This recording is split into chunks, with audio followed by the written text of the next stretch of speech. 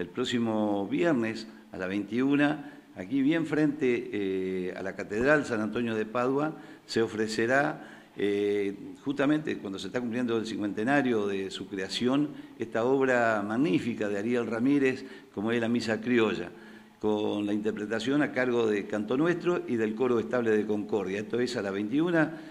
entrada libre y gratuita, toda la gente puede venir, puede venir con su sillón, sentarse aquí sobre calle Urquiza y observar eh, lo que va a ser esta obra artística,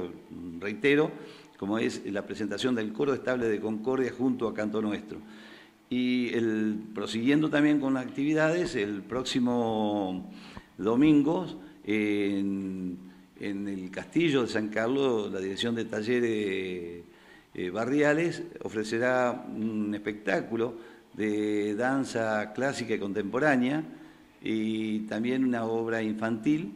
para todo público que pueda asistir al Castillo San Carlos, esto es a partir de las 19.30. Y el 23, el martes 23, ya en la proximidad de la,